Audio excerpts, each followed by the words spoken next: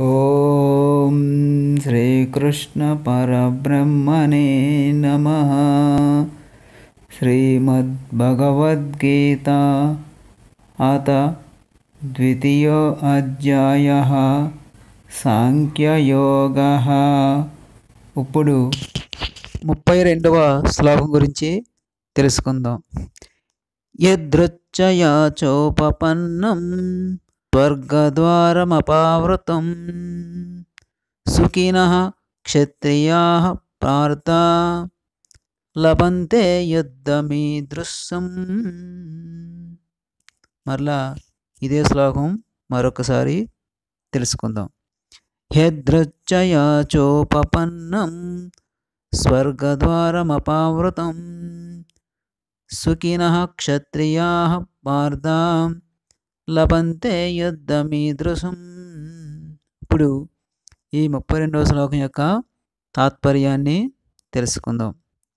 ఓ పార్థ పార్థ అంటే అర్జునుడు అనమాట కాబట్టి ఓ అర్జున యాదృచ్ఛికంగా తటస్థించినటువంటి ఇటు యుద్ధము అదృష్టవంతులైనటువంటి క్షత్రియులకే లభించును.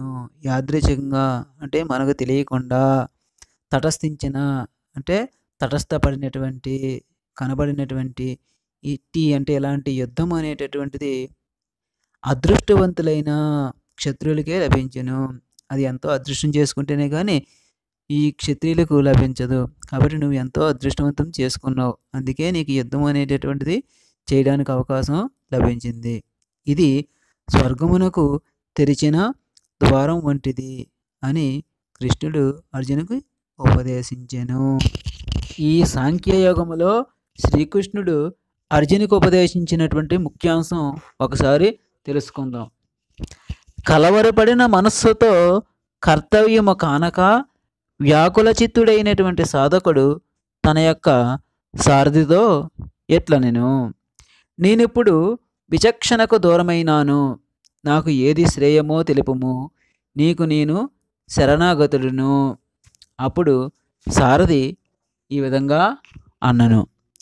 దేహభ్రాంతితో కూడిన నేను నాది అనుకున్నవి నిత్యములు కావు.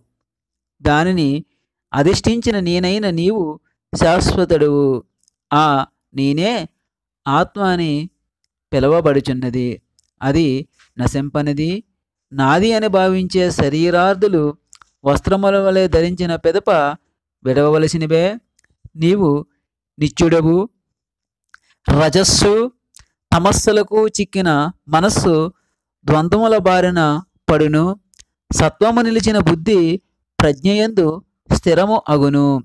ఫలిత దృష్టిని నా ఎందు సమర్పణము చేసి కర్తవ్యము నిర్వహింపుము. దేని వలన రాగద్వేషములు ఉండవు.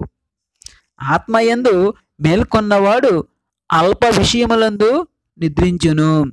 సముద్రుని వలె తనలోనికి ఏమి వచ్చినను కలత నందకమును. స్థితప్రజ్ఞులు కమ్ము. ఈ వేగంతో అవధులేని ఆనందము నందుము అని చక్కగా వివరించాను.